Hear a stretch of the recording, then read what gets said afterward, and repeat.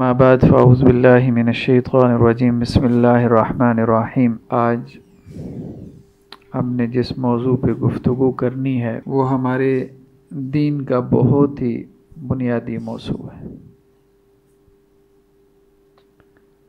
احادیث کی کتابوں میں اس حدیث کو، جس کو آج ہم نے ڈسکس کرنا ہے، حدیث جبریل کا عنوان دیا گیا۔ یہ بہت عظیم و شان حدیث ہے اور طویل حدیث ہے۔ اس حدیث کے مطابق ہر جبریل علیہ السلاۃ وسلام آپ وسلم کے پاس آئے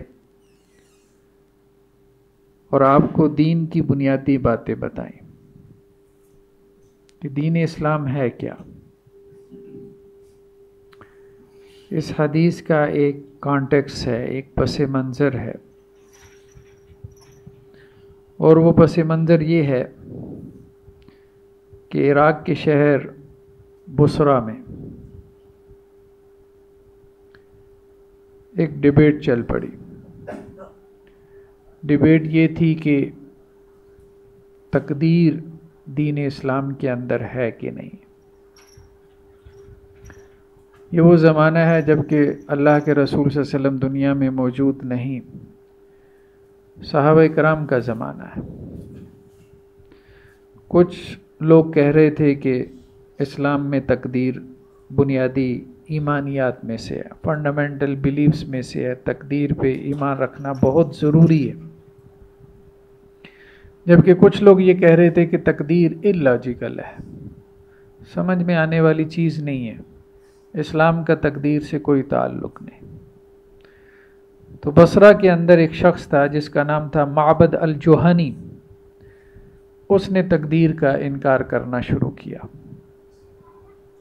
لوگوں نے طرح طرح کے دلائل دیے کہ جی تقدیر میں تو یہ بات ہے کہ لوہے محفوظ میں پہلے سے لکھا ہے کہ فلاں نے جنت میں جانا ہے۔ اگر یہ لکھا ہے تو اس کا کیا کمال ہے؟ تقدیر میں لوہے محفوظ میں یہ لکھا ہے کہ فلاں نے جہنم میں جانا ہے۔ اگر کسی نے جہنم میں جانا ہے، پہلے سے لکھا ہے، جہنم میں چلا جاتا ہے، تو اس بیچارے کا کیا قصور ہے؟ تو لوگ تقدیر کا انکار کر رہے تھے عراق کے شہر بصرہ میں۔ اور تقدیر کے منکرین کا جو سرغنہ تھا، وہ تھا معبد الجوہانی۔ اب جیسا کہ نوجوانوں میں بے چینی پھیل جاتی ہے۔ جب بھی وہ کوئی ایسی ڈبیٹ سنتے ہیں کہ جس میں لوگوں کا اختلاف ہو جائے یا علماء کا اختلاف ہو جائے، تو وہ بے چین ہو جاتے ہیں۔ کچھ لوگ یہ کہہ رہے ہیں، کچھ یہ کہہ رہے ہیں، کس کی مانیں، کس کی سنیں، کس کے پیچھے چلیں؟ ہمارے پاس تو اتنا علم نہیں۔ تو بسرا شہر کے رہنے والے دو نوجوان اس ساری ڈبیٹ سے ڈسکشن سے پریشان ہو گئے۔ ایک کا نام تھا یاحیہ اور ایک کا نام تھا حمید تو یہ صحیح مسلم کی روایت ہے کتاب الایمان میں۔ شروع میں ہی آپ کو صحیح مسلم میں مل جائے گی، ساتویں، آٹھویں حدیث۔ تو یحییٰ اور حمید کہتے ہیں کہ ہم نے یہ پلان بنایا کہ ہم حج اور عمرہ کے لیے جاتے ہیں۔ رسول اللہ صلی اللہ علیہ وسلم کے صحابہ میں سے کوئی موجود ہوگا۔ ہم اس سے سوال کریں گے کہ اللہ کے رسول صلی اللہ علیہ وسلم نے تقدیر کے بارے میں کیا کہا۔ اگر صحابی نے کہہ دیا کہ اللہ کے رسول نے کہا کہ تقدیر پہ ایمان لانا ہے تو بس لانا ہے، چھوڑیں۔ اب جو انکار کر رہا ہے بس، وہ عقلی دلائل دیتا رہے۔ ہمیں اس سے کوئی پرواہ نہیں، اس سے کوئی غرض نہیں۔ تو وہ یہ پلان کر کے حج اور عمرہ کے لیے گئے۔ مکہ میں پہنچے تو انہوں نے لوگوں سے پوچھنا شروع کر دیا، رسول اللہ علیہ وسلم کے کوئی صحابی کوئی صحابی کوئی صحابی جن کو تم جانتے ہو۔ ایک صاحب نے کہا، وہ دیکھو، مسجد کے دروازے سے جو اندر داخل ہو رہے ہیں، ان کا نام ہے عبداللہ بن عمر رضی اللہ عنہ۔ وہ رسول اللہ علیہ وسلم کے صحابی ہیں، انہوں نے دوڑ لگا دی۔ حضرت عبداللہ بن عمر کو مسجد کے دروازے پہ روک لیا۔ ایک ایک طرف کھڑا ہو گیا، دوسرا دوسری طرف کھڑا ہو گیا۔ کہنے لگی جی ہم بسرا سے آئیں اور ہمارے شہر میں یہ ڈبیٹ، یہ ڈسکشن، یہ مناظرہ، یہ مجادلہ زوروں کے اوپر ہے۔ کچھ لوگ کہہ رہے ہیں تقدیر ہے، کچھ تقدیر کا انکار کر رہے ہیں۔ آپ ہمیں یہ بتائیں کہ آپ رسول اللہ علیہ وسلم کے صحابی ہیں۔ آپ نے اللہ کے رسول صلی اللہ علیہ وسلم سے تقدیر کے بارے میں کیا سنا؟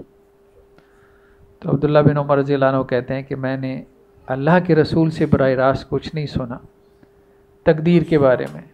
میں نے اپنے والد عمر سے سنا ہے۔ اور وہ یہ کہتے تھے کہ انہوں نے اللہ کے رسول صلی اللہ علیہ وسلم سے سنا۔ تو بات وہیں پہ آ گئی۔ پھر حضرت عبداللہ بن عمر رضی اللہ عنہ نے وہ حدیث بیان کی جو انہوں نے اپنے والد عمر رضی اللہ عنہ سے سنی تھی۔ کہ حضرت عمر رضی اللہ عنہ فرماتے ہیں کہ ہم ایک دفعہ مسجد نبوی میں بیٹھے تھے۔ صحابہ کرام کی جماعت کے ساتھ۔ اللہ کے رسول صلی اللہ علیہ وسلم بھی تشریف فرما تھے۔ اچانک ایک شخص مسجد میں داخل ہوا۔ اس کے کپڑے انتہائی صاف ستھرے، سفید، اور اس کے بال انتہائی سیاہ، گھنے بال، شائننگ، چمکدار۔ اس کا چہرہ روشن، وہ آیا اور تمام صحابہ کرام کو کراس کرتا ہوا اللہ کے رسول صلی اللہ علیہ وسلم کے ساتھ جا کر بیٹھ گیا۔ یعنی جیسے آپ صلی اللہ علیہ وسلم نماز کے پاس بیٹھتے تھے تو نمازی پیچھے اور آپ صلی اللہ علیہ وسلم مسلح پہ، تو اب وہ پیچھے سے آیا اور تمام نمازیوں کو کراس کرتے ہوئے وہ شخص اللہ کے رسول صلی اللہ علیہ وسلم کے پاس آ کے بیٹھ گیا۔ آپ صلی اللہ علیہ وسلم تشاہد کی حالت میں بیٹھے تھے، وہ بھی آپ کے سامنے تشاہد کی حالت میں بیٹھ گیا۔ اور اس نے اپنے دونوں ہاتھ آپ کی دونوں رانوں پر تھائز کے اوپر رکھ دیے۔ صحابہ کرام کہتے ہیں کہ ہم حیران رہ گئے۔ اس کی جرت پر، کیونکہ اللہ کے رسول صلی اللہ علیہ وسلم کے سامنے اس قسم کی جرت کا اظہار ممکن نہیں ہوتا تھا۔ آپ کا ایک چھپا ہوا روب اور دبدبا ہوتا تھا۔ پھر اس شخص نے آپ صلی اللہ علیہ وسلم سے چار سوال کیے۔ سب سے پہلا سوال یہ کیا کہ اخبرنی عن الاسلام۔ محمد صلی اللہ علیہ وسلم مجھے بتائیں کہ اسلام کسے کہتے ہیں؟ اسلام کو کیسے ڈیفائن کریں گے؟ اسلام کو کیسے بیان کریں گے؟ بہت اہم حدیث ہے، بہت اہم حدیث ہے۔ آج اب باہر نکلتے ہیں، ہر کسی نے اسلام کی اپنی تعریف، ہر کسی نے ایک فہرست بنا رکھی ہے کہ جی یہ دین اسلام ہے۔ یہ عقائد مانتے ہو تو آپ مسلمان ہو، ورنہ تو دار اسلام سے خارج ہو۔ ٹھیک ہے۔ اللہ کے رسول صلی اللہ علیہ وسلم نے اسلام کس کو قرار دیا؟ یہ ہمارے دین کا جوہر ہے۔ یہ ہمارے دین کا ایسنس ہے۔ آج اگر کوئی شخص مسلمان ہوتا ہے، کوئی غیر مسلم، کوئی نان مسلم جسے ہم کنورٹ کہتے ہیں، وہ ہم سے پوچھ لے کہ بھائی اسلام کسے کہتے ہیں؟ اور وہ کہے کہ بس ایک جملے میں بتا دو کہ اسلام کسے کہتے ہیں۔ تو اب ہم اسے کیا بتائیں گے؟ اللہ کے رسول صلی اللہ علیہ وسلم نے جو بتایا۔ اب یہ پوچھنے والا کون تھا؟ یہ انسانی شکل میں آنے والے حر جبریل علیہ السلام تھے۔ صحابہ کرام ان کو پہچان نہیں پائے تھے۔ صحابہ کرام کو کچھ شک تو پڑا تھا۔ وہ کہتے تھے کہ جی مسافر بھی نہیں معلوم ہوتا تھا، کہ کوئی گرد و غبار کے نشانات بھی نہیں تھے۔ اور مدینہ کا لوکل بھی نہیں تھا کہ مدینہ تو چھوٹی سی بستی تھی، سب لوگ ایک دوسرے کو جانتے تھے۔ تو سمجھ نہیں آ رہی تھی کہ کہاں سے یہ شخص آ گیا۔ تو رسول اللہ علیہ وسلم نے تین دن کے بعد حضرت عمر رضی اللہ عنہ کو ملاقات میں بتایا کہ تم جانتے ہو وہ شخص کون تھا؟ تو حضرت عمر رضی اللہ عنہ فرمایا، نہیں، میں نہیں جانتا۔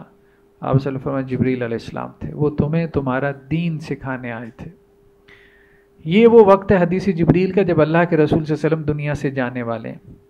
یعنی تیئیس سال میں آپ صلی اللہ علیہ وسلم نے دین اللہ کا جو لوگوں تک پہنچا دیا، تو اب لوگوں کے سامنے ہر جبریل علیہ السلام آئے ہیں، مذاکرہ کر رہے ہیں، کس دین کا خلاصہ بیان کرتے ہیں۔ تاکہ جاتے جاتے لوگوں کے ذہنوں میں اچھے سے بیٹھ جائے کہ بھائی یہ تمہارا دین ہے، یہ دین قیم ہے، یہ سیدھا دین ہے، یہ اسلام ہے، اس کو پکڑ کے رکھنا۔ بعد میں لوگ پتہ نہیں کس کس چیز کو اسلام بنا لیں گے۔ کتنی موٹی موٹی کتابیں تمہیں اسلام کے نام پہ پکڑا دیں گے۔ کیسے کیسے قوانین، رسم و رواج میں اسلام کے نام پہ جگڑ دیں گے۔ تو پھر جبریل علیہ السلام نے پہلا سوال کیا کہ اخبرنی عن الاسلام، محمد صلی اللہ علیہ وسلم، اسلام کیا ہے؟ تو آپ صلی اللہ علیہ وسلم فرمایا کہ اسلام پانچ چیزوں کا نام ہے۔ سب سے پہلے یہ کہ تم یہ گواہی دو کہ اللہ کے سوا کوئی معبود نہیں۔ محمد صلی اللہ علیہ وسلم اللہ کے رسول ہیں۔ دوسرے نمبر پہ نماز پڑھو۔ تیسرے نمبر پہ رمضان کے روزے رکھو۔ چوتھے نمبر پہ زکوٰۃ ادا کرو۔ پانچویں نمبر پہ بیت اللہ کا حج کرو۔ اگر تم اس کی استطاعت رکھتے ہو۔ یعنی جسے ہم ارکان اسلام کہتے ہیں پلرز آف اسلام۔ اسلام ان پانچ چیزوں کا نام ہے۔ شہادہ سب سے پہلے توحید ہے۔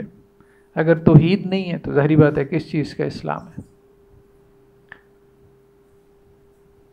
میں نے کوئی چودہ سے پندرہ مرتبہ قرآن مجید ترجمے سے پڑھایا۔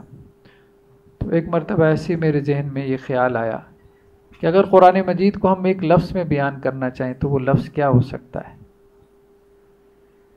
تو وہ قرآن مجید کے مجھے یاد ہے کہ پہلے پیج کے اوپر میں نے لکھا کہ چودہ پندرہ مرتبہ پورا قرآن مجید ترجمے سے پڑھانے کے بعد یہ سمجھ میں آتا ہے کہ قرآن کو اگر کوئی نان مسلم کہے کہ ایک لفظ میں بیان کرو تو وہ لفظ توحید کا لفظ ہو سکتا ہے۔ کہ قرآن سب سے زیادہ جس چیز کے اوپر زور دیتا ہے، وہ توحید ہے۔ ایک اللہ کی عبادت۔ اور شر کی مذمت کہ اللہ کے ساتھ کسی کو شریک نہیں ٹھہرانا۔ اللہ کی عبادت میں مطلب عبادت کسے کہتے ہیں؟ سجدہ صرف اللہ کے لیے، رکوع صرف اللہ، رکوع عبادت ہے، سجدہ عبادت ہے، نظر نیاز عبادت ہے۔ آپ صلی اللہ علیہ فرمایا، دعا عبادت ہے، دعا صرف اللہ سے۔ قربانی عبادت ہے، قربانی صرف اللہ کے لیے۔ تو عبادت کی جو جو فارم، جو جو صورتیں وہ سب صرف اللہ کے لیے۔ یہ توحید ہے۔ تو آپ صلی اللہ علیہ فرمایا کہ اسلام کیا ہے؟ اسلام سب سے پہلے تو یہ ہے کہ عبادت اللہ کے علاوہ کسی کی نہیں۔ سب سے پہلے تو یہ۔ عقیدہ توحید کی اوپر ڈٹ جاؤ، قائم ہو جاؤ، شرک کو چھوڑ دو۔ شرک کی ہر قسم اور صورت سے اجتناب کر لو۔ اور محمد صلی اللہ علیہ وسلم کے رسول ہونے کی گواہی دو اللہ کے رسول صلی اللہ علیہ وسلم کے ساتھ اطاعت کا تعلق ہے۔ تو سب سے پہلے یہ شہادہ ہے۔ اس کے بعد پھر نماز ہے۔ اسلام میں شہادہ کے بعد، توحید کے بعد سب سے امپورٹنٹ سب سے اہم چیز نماز ہے۔ حدیثوں میں بھی ہم دیکھتے ہیں، یہ بات ملتی ہے کہ قیامت والے دن سب سے پہلا سوال کیا ہوگا کسی مسلمان سے؟ اب مسلمان تو وہی ہے جس نے کلمہ پڑھ لیا نماز کا۔ اگر نماز اس کی درست نکلی تو سارے اعمال درست نکلیں گے۔ یہی بات آتی ہے نا حدیثوں میں۔ اگر نماز میں کوئی کمی کوتاہی رہ گئی تو باقی جگہ بھی پکڑا جائے گا۔ تو اب انسان کی زندگی میں باقی سارے اعمال ہوں، لیکن نماز نظر نہ آئے۔ یعنی ہم نے بھی کیا کیا؟ مطلب کچھ رسم و رواج کو ہم نے اسلام بنا لیا۔ پچھلی قوموں کے ساتھ بھی یہی ہوتا تھا کہ جب کوئی پیغمبر، نبی رسول اللہ کا پیغام پہنچا کے دنیا سے چلے جاتے تھے، تو بعد میں آنے والی قومیں دین کا حلیہ مسخ کر دیتے تھے۔ رسوم و رواج کو زیادہ اہمیت دیتی تھیں اور جن تعلیمات کو پیغمبر چھوڑ کے جاتے تھے، ان کو ترک کر دیتی تھے۔ اب ہمارے ہاں عام طور پہ جسے کلچرل اسلام کہتے ہیں یعنی عام لوگوں کا ماسس کا اسلام کیا ہے؟ آمد الناس کا اسلام کیا ہے؟ جو محرم کے دس دن منا لیں۔ ربیع الاول آنے والا ہے، اس کے بارہ دن منا لیں۔ لوگ اسی کو اسلام سمجھتے ہیں۔ یعنی سارا دن نعت پڑھیں گے، لیکن نماز نہیں پڑھیں گے۔ اب ظاہری بات ہے کہ نعت پڑھنا تو فرض نہیں ہے۔ ٹھیک ہے، اچھی بات ہے، نعت پڑھنی چاہیے۔ رسول اللہ علیہ وسلم کے ساتھ ہمارا ایسا تعلق ہونا چاہیے۔ لیکن یہ ہے کہ سارا دن نعت خوانی کریں۔ خود بھی روئیں، لوگوں کو بھی رلائیں۔ لیکن نماز نہ پڑھیں۔ نہ نعت خاں پڑھے نہ نعت سننے والے پڑھیں۔ تو ظاہری بات ہے، یہ وہ اسلام تو نہیں جو رسول اللہ علیہ وسلم چاہتے تھے، جو اللہ کے رسول صلی اللہ علیہ وسلم لے کر آئے، جو اسلام اللہ کے رسول صلی اللہ علیہ وسلم لے کر آئے، جس کو آپ نے عام کیا، جس کو آپ نے ڈیفائن کیا اس میں نماز سب سے پہلے۔ نماز ہے تو اسلام ہے، نماز نہیں ہے تو اسلام کس چیز کا؟ بھلے بہت لمبی داڑھی رکھ لو آپ، شلوار ٹخنوں سے اوپر کر لو، ہاتھ میں تسبیح پکڑ لیں، جیب میں مسواک ڈال لیں۔ اب آپ کہیں کہ میں نماز نہیں پڑھتا لیکن اسلام میرا بہت اعلیٰ ہے۔ تو خاص قسم کا حلیہ اختیار کر لینے سے، کوئی کٹ پہن لینے سے مسلمان تھوڑی بن جاتا ہے۔ ارکان اسلام۔ ارکان اسلام کی پابندی کرنی پڑے گی۔ آپ وسلم نے یہاں تک فرمایا کہ کافر اور مسلمان کے درمیان جو چیز فرق کرنے والی ہے، وہ کیا ہے؟ نماز ہے۔ وہ نماز ہے۔ وہ محرم یا ربیع الاول منانا نہیں ہے، بلکہ نماز ہے کافر اور مسلمان کے درمیان فرق کرنے والی چیز۔ تو نماز سب سے اہم چیز ہے۔ تو آپ وسلم نے یہی فرمایا کہ اسلام کیا ہے؟ توحید، اس کے بعد نماز۔ اس کے بعد کیا؟ رمضان کے روزے۔ رمضان کے روزے، اب ظہری بات ہے، فرض۔ سب کو پتہ ہے کہ رمضان کا روزہ ہر عاقل بالغ کے اوپر فرض ہے۔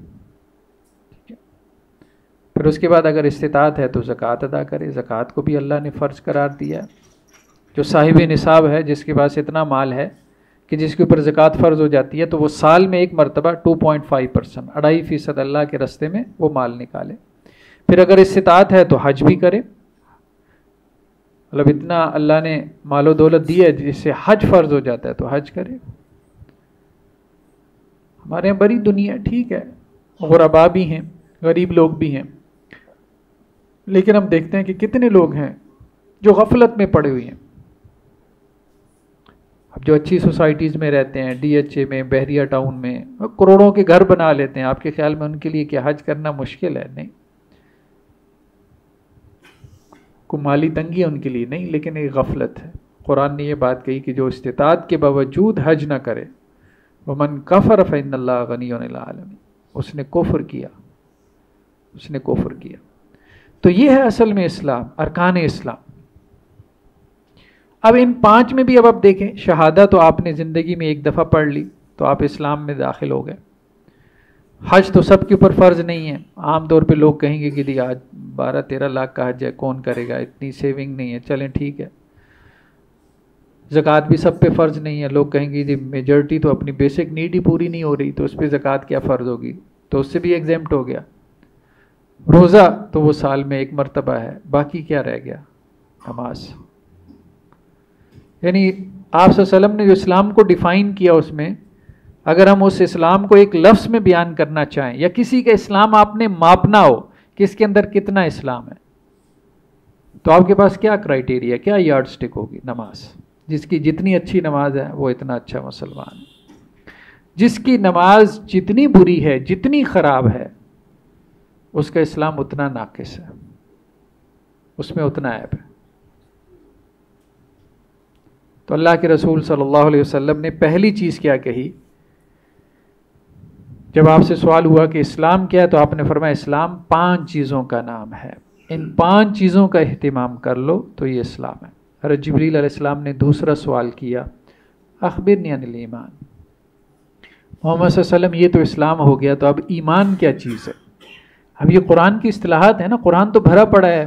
مسلم، مسلمون، مسلمین مومن، مومنون، مومنین، کسی کو قرآن نے مومن کہا، کسی کو مسلم کہا۔ قرآن کی آیات تو بھری پڑی ہیں کہ مسلمین کے لیے اللہ کے یہ وعدے ہیں، مومنوں کے لیے اللہ نے جنت میں یہ تیار کر رکھا ہے۔ تو اب مومن کون ہے جس کو قرآن مومن کہہ رہا ہے؟ ایمان کیا چیز ہے؟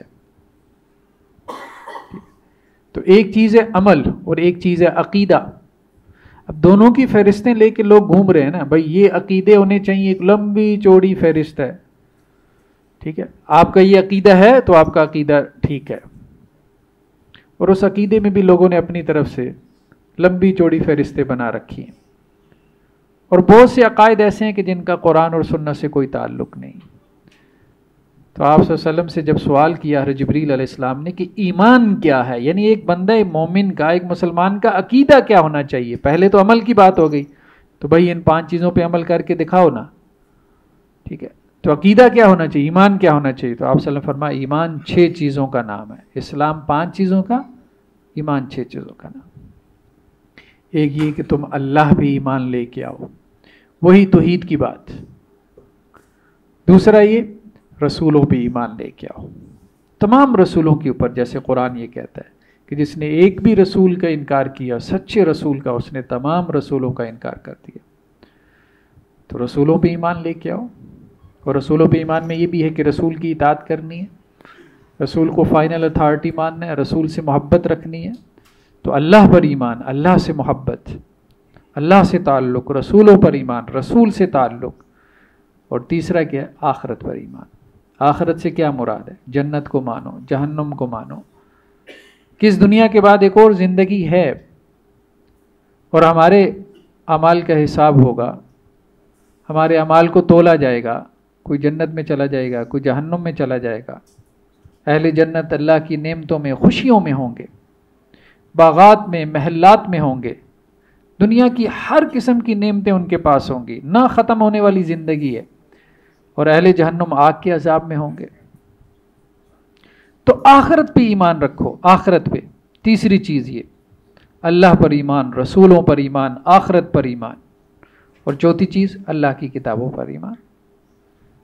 تو رات انجیل، زبور اللہ کی کتابیں تھیں، اللہ نے اتاری تھی۔ ان میں تحریف ہو گئی اور اب اللہ کی آخری کتاب، قرآن مجید کی صورت میں تمہارے پاس آ گئی۔ اس کو اللہ کی کتاب مانو۔ اس کے ساتھ تعلق پیدا کرو۔ اور پانچویں چیز، فرشتوں پر ایمان۔ ظاہر بات ہے، کیسے پتہ چلے گا کہ کتاب کون نبی اور رسول کی طرف لے کے آیا؟ فرشتوں کو مانے گا تو صنعت ثابت ہوگی، چین ثابت ہوگی۔ کہہ رہے جبریل علیہ السلام یہ کلام اللہ سے لے کر آئے نبی کریم صلی اللہ علیہ وسلم کے پاس۔ تو فرشتوں پر ایمان۔ جن جن فرشتوں کا تذکرہ ہمیں قرآن میں ملتا ہے یا حدیث میں ملتا ہے، اور اللہ نے جو ان کی صفات بیان فرمائی جو ان کی ڈیوٹیز لگا دی ان کے اوپر ایمان۔ کہ حضرت اسرائیل علیہ السلام ہیں جو کہ انسانوں کی روح کو قبض کرتے ہیں۔ حضرت جبریل علیہ السلام ہیں جو وہی لے کر آتے ہیں۔ حضرت میکائل علیہ السلام ہیں جن کو اللہ سبحانہ و تعالیٰ نے بارشوں کے اوپر مقرر کیا ہوا ہے۔ حضرت اسرافیل علیہ السلام ہے جن کو اللہ سبحانہ و تعالیٰ نے قیامت والے دن سور پھونکنے کے لیے مقرر کیا ہوا ہے۔ فرشتوں پر ایمان۔ اور چھٹی چیز کیا ہے؟ تقدیر پر ایمان۔ کہ اچھی بری تقدیر اللہ کی طرف سے۔ تو یہ وہ ان دو لوگوں کا جو سوال تھا، یحییٰ اور حمید کا، کہ اللہ کے رسول صلی اللہ علیہ وسلم نے تقدیر کے بارے میں کیا کہا ہے، تو یہاں وہ جواب آ رہا تھا۔ کہ حضرت جبریل علیہ السلام نے جب اسلام کے بارے میں پوچھا، آپ وسلم فرمایا اسلام پانچ چیزوں کا نام ہے۔ حضرت جبریل علیہ السلام نے جب ایمان کے بارے میں پوچھا، تو آپ وسلم فرمایا ایمان چھ چیزوں کا نام ہے۔ اللہ پر ایمان، رسولوں پر ایمان، کتابوں پر، فرشتوں پر اور اچھی بری تقدیر پر۔ تو بندہ مومن بننے کے لیے ضروری ہے۔ اب دیکھیں کہ ایک شخص کہتا ہے کہ میں اللہ کو مانتا ہوں۔ لیکن میں نبی کریم صلی اللہ علیہ وسلم کو نہیں مانتا۔ تو کیا وہ مسلمان ہو سکتا ہے؟ نہیں ہو سکتا۔ اور بدقسمتی سے ایسے لوگ اب مسلمانوں میں پیدا ہونا شروع ہو گئے ہیں۔ یہ سوشل میڈیا کے اوپر۔ سوشل میڈیا پہ پہ کیا؟ دو دو چار جو میں پہلے کی بات ہے، ایک صاحب میرے پاس آ گیا شرک پور سے۔ درزی کا کام کرتے تھے۔ اب انہوں نے سوشل میڈیا پہ ایک حضرت ہیں ان کو سننا شروع کر دیا، جو اپنے طور پہ قرآن بیان کرتے ہیں۔ ان کا نام ہے محمد شیخ۔ اور یہ ان کے فالوور بن گئے، متاثر ہو گئے۔ اب مجھے آ کے کہیں کہ جی محمد بن عبداللہ بن عبد المطلب بن ہاشم صلی اللہ علیہ وسلم، یہ تو پیدا ہی نہیں ہوئے تھے۔ ان کا تو وجود ہی نہیں ہے۔ تو میں نے کہا، وہاں جو روزہ مبارک بنا ہوا ہے مسجد نبوی کے ساتھ، تو اس میں کیا ہے؟ جو اس میں تو اصحاب کہاف ہیں۔ اچھا تو پھر قرآن کس کے اوپر نازل ہوا تھا؟ جی قرآن تو حضرت آدم علیہ السلام پہ نازل ہوا تھا۔ جب سے آدم علیہ السلام ہے، تب سے قرآن ہے۔ اچھا تو پھر یہ تو رات انجیل کہاں سے آ گئی نہیں تو رات انجیل تو کوئی نازل نہیں ہوئی۔ یہ تو قرآن ہی کے صفاتی نام ہے۔ تو میں نے کہا، ڈیڑھ ارب ڈیڑھ ارب کیا؟ دو ارب کے قریب مسلمان ہیں۔ سارے غلطی پہ ہاں سارے غلطی پہ ہیں۔ کسی کو قرآن سمجھ ہی نہیں آ رہا۔ سمجھ تو ہمارے استاذ کو آ رہا ہے، محمد شیخ کو۔ ٹھیک ہے؟ عجیب و غریب قسم کے لوگ ہیں۔ اب وہ قرآن پڑھ رہے ہیں۔ وہ محمد شیخ جو ہے، کبھی آپ اس کو سنیں سوشل میڈیا پہ، وہ بندہ ایک ایک مجلس میں چالیس چالیس پچاس پچاس آیتیں پڑھ جاتا ہے۔ اور کہتا کیا ہے کہ محمد صلی اللہ علیہ وسلم کا وجود ہی نہیں ہے۔ مطلب ایک ہے کہ نبی نہ ماننا، وہ نبی رسول تو، وہ کہتا ہے ہی نہیں دنیا میں ایسی جھوٹ بنایا ہوا ہے کہ کوئی شخص مکہ میں آیا تھا۔ اچھا پھر قرآن کہاں نازل ہوا تھا؟ مکہ مدینہ میں؟ نہیں، مکہ مدینہ میں تو نہیں نازل ہوا، کچھ بھی نہیں نازل ہوا۔ قرآن شروع سے چلا آ رہا ہے۔ اب وہ بظاہر قرآن کو مان رہا ہے، اللہ کو مان رہا ہے، آخرت بھی مان رہا ہے، اللہ کے رسول صلی اللہ علیہ وسلم کو نہیں مان رہا۔ تو اب مسلمان ہو سکتا ہے کیسے مسلمان ہوگا؟ کیسے مسلمان ہوگا؟ تو یہ اصل میں اسلام ہے۔ آپ صلی اللہ علیہ وسلم نے واضح کیا کہ یہ ایمان ہے فنڈامنٹل بلیفس ہیں۔ یہ یہ چھ چیزیں۔ آپ نے ان کو ماننا ہے۔ اب ایک بندہ آ کے کہتا ہے کہ جی میں اللہ کو بھی مانتا ہوں، میں اللہ کے رسول صلی اللہ علیہ وسلم کو بھی مانتا ہوں، لیکن جنت جہنم کوئی نہیں ہے، آخرت کوئی نہیں ہے، بس ایسی اللہ نے۔ اللہ نے کہا ہے کہ اچھے کام کرو گے تو خوشی مل جائے گی، دنیا میں یہی جنت ہے۔ لوگوں نے کہا ہے، ایسی انٹرپریٹیشن کی ہیں۔ اگر برے کام کرو گے، تمہارے اندر انزائٹی ڈپریشن فرسٹریشن پیدا ہو جائے گی، یہ زندگی تمہارے لیے جہنم بن جائے گی، بس یہی جنت جہنم ہے۔ آگے کوئی جنت جہنم نہیں ہے۔ اب ایسے لوگ مسلمانوں میں پیدا ہوئی ہے انہوں نے قرآن کی تفسیریں لکھی۔ ظاہر بات ہے، اس کا اسلام سے کیا تعلق ہے؟ ایسی سوچ کا۔ تو اصل میں یہ عقائد تھے۔ ہمارے بدقسمتی سے علماء نے یہ عقائد تو فوکس نہیں کیے۔ لوگوں کو یہ تو بتایا نہیں بھئی آخرت کو ماننا ضروری ہے، اللہ کے رسول صلی اللہ علیہ وسلم کو ماننا ضروری ہے، تقدیر کو ماننا، فرشتوں کو ماننا ضروری ہے۔ اب کچھ اور چیزوں کو فوکس کیا، لوگ اس کا تو انکار نہیں کرتے۔ وہ چیزیں اضافی تھیں۔ اب بحثیں کس پہ ہو عجیب و غریب قسم کی بحثیں کہ اللہ کا عرش افضل ہے۔ یا رسول اللہ صلی اللہ علیہ وسلم کی قبر مبارک کی مٹی افضل ہے۔ اب اس پہ بحث ہو رہی ہے، ہم سے اس کے بارے میں کوئی سوال نہیں پوچھا جائے گا۔ مردے سنتے ہیں کہ نہیں سنتے، اب اس کے اوپر بحث ہوئی جا رہی ہے۔ مطلب قبر کے اندر مردہ سنتا ہے کہ نہیں سنتا۔ اس کے اوپر لمبی چوڑی بحث ہے اب مسئلہ یہ ہے کہ مولوی صاحب کو لوگ سمجھائیں کہ بھائی مردے سنتے ہیں کہ نہیں سنتے، ابھی تو صورتحال یہ ہے کہ زندہ آپ کی بات نہیں سننے کو تیار۔ مطلب بحث اس پہ کر رہے ہیں کہ مردہ سنتا ہے کہ نہیں سنتا، زندہ آ کے مسجد میں سننے کو تیار کوئی نہیں ہے۔ وہ جمعے میں آ کے بات سننے کو تیار نہیں ہے۔ تو ہم نے غیر ضروری بحثوں کو کیا کیا؟ وہ موضوع بحث بنا لیا۔ اب ہوا کیا ہے کہ لوگوں نے دین کی بڑی بڑی چیزوں کا انکار شروع کر دیا۔ اب ایسے لوگ ہیں جو مسلمان ہیں لیکن خدا کو نہیں مانتے۔ کہتے ہم مسلمان ہیں، خدا کو مانتے ہیں، نہیں، خدا کے بارے میں مجھے کوئی یقین نہیں، ہے کہ نہیں۔ ایک نوجوان میری اس کے ساتھ ڈسکشن ہو گئی، کہتا میں خدا کو نہیں مانتا، لیکن میں نماز پڑھتا ہوں۔ لیکن میں نماز پڑھتا ہوں، خدا کو نہیں مانتا، نماز پڑھتا ہوں۔ ایک اور سے میری بحث ہوگی، وہ کہتا ہے، خدا کو نہیں مانتا، لیکن گھر میں میں نے اپنے بچوں کو قاری صاحب لگوا کے دیا ہوا ہے، وہ آ کے ان کو پارا پڑھا دیتے ہیں۔ تو میں نے کہا، یہ سارا کیوں کرتے ہو پھر؟ بس ٹھیک ہے کلچرل چیز ہے، ساری کرتے ہیں۔ تو اب میں نے اجنبی بن کے تھوڑی رہنا ہے سوسائٹی میں۔ اب کیا ہے کہ ہمارے جو اصل ایمانیات تھے ہم نے ان کو فوکس نہیں کیا۔ تو لوگ ان کے بارے میں شکوک و شبہات کا شکار ہو رہے ہیں۔ ایتھیس بن رہے ہیں، ملحد بن رہے ہیں، خدا کے انکار کر رہے ہیں، رسولوں کا انکار کر رہے ہیں، آخرت کا انکار کر رہے ہیں، تقدیر کا انکار کر رہے ہیں۔ عجیب و غریب قسم کی دلیلیں دے کے۔ ٹھیک ہے۔ تو ایمان بیسیکلی چھ چیزوں کا نام ہے۔ ان چھ چیزوں کو ماننا ضروری ہے۔ اللہ پر ایمان، رسولوں پر ایمان، کتابوں پر ایمان، فرشتوں پر ایمان، تقدیر پر ایمان۔ تیسرا سوال کیا کیا؟ حر جبریل علیہ السلام نے آپ سے کہ آپ مجھے بتائیں احسان کیا ہے؟ یہ تو اسلام ہو گیا، اسلام پانچ چیزوں کا نام ہے، ایمان چھ چیزوں کا نام ہے۔ احسان کیا ہے؟ تو آپ وسلم فرمایا، انتا عبد اللہ کا کا طرح فلم تکن طرح فین اللہ کی ایسی عبادت کرو، جیسے تم اللہ کو دیکھ رہے ہو۔ اب ہم اللہ کو دیکھ سکتے ہیں؟ نہیں دیکھ سکتے۔ اللہ کی کوئی تصویر اپنے ذہن میں لا سکتے ہیں؟ نہیں لا سکتے۔ جو بھی ہم اللہ کی تصویر اپنے ذہن میں لے کے آئیں گے، ظاہری بات ہے وہ اللہ تو نہیں ہوگا۔ وہ تو ہمارے اپنے ذہن کی کریشن ہے، تخلیق ہے۔ خود سے ہم نے بنایا امیج ہے۔ تو اس سے کیا مراد ہے کہ اللہ کی ایسی عبادت کرو جیسے تم اللہ کو دیکھ رہے ہو؟ کیا مراد ہے؟ اس سے مراد یہ ہے کہ سپوز کرو کہ جیسے قیامت والے دن آپ اللہ کے سامنے کھڑے ہو گئے تو اللہ کے سامنے کھڑے ہونے کی وجہ سے جو کیفیت تمہارے اوپر تاری ہوتی، اللہ کی محبت کی کیفیت یا اللہ کے ڈر اور خوف کی کیفیت، خشیت کی کیفیت ہوتی یا محبت کی ہوتی، اس کیفیت کے ساتھ اللہ کی عبادت کرو۔ اور اگر یہ کیفیت نہیں پیدا ہو سکتی تو کم از کم یہ کہ اللہ تمہیں دیکھ رہا ہے۔ اللہ تمہیں دیکھ رہا ہے۔ یعنی عبادت بھی کرنی ہے، خوشو خوشو کے ساتھ۔ تو یہ گویا کہ ہمارے دین کے تین لیولز ہیں جو بیان ہو گئے۔ ایک بیسک لیول ہے بگنرس کے لیے۔ ایک انٹرمیڈیٹ لیول ہے، ایک ایڈوانس لیول ہے۔ سب سے پہلے اسلام ہے۔ سب سے پہلے کیا اسلام ہے؟ نماز، روزہ، حج زکات بھائی یہ کرو، کلمہ پڑھ لیا، نماز، روزہ، حج زکات یہ پہلا لیول ہے۔